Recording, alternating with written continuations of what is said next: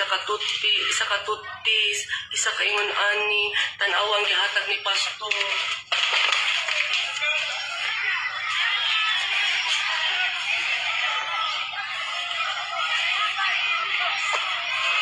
Tanawa ang gipanghatag ni pastor. Oh. Tanawa oh, si Kuya oh, tagduha na gay kamo tibang bit-bit ng mga gift. Really good ang gipangkuha niya na pa ni mga tubig. Na.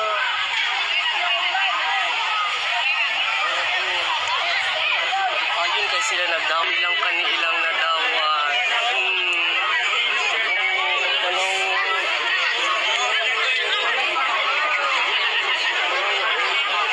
Buting ana ilang nadawat.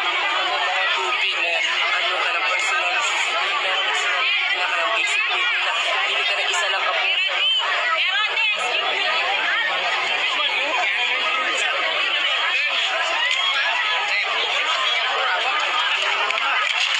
Isa man yung tingnan tayo. Tanaw mo.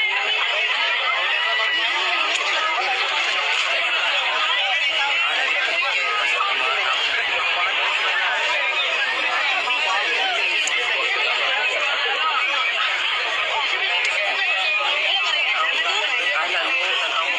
Ito ang nasa, ito ang nasa ganyan. Ito ang address sa pangutang sa mga katawan gani.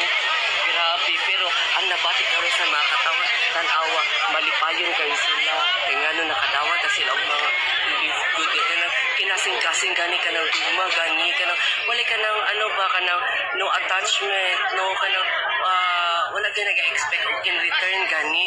Tanawa, grabe ka sila malipayon. Bisan, bisan paggamay gani gahatag, pero from the heart gani heart ilig yun ang pagkahatag grabe nga na kay si pastor salamat yun kay kay pastor no kay grabe niya kay bisa ko sa kalayo ang ang tulungan sa sa Davao City kay Seth kay pastor kung asa siya nagpuyo.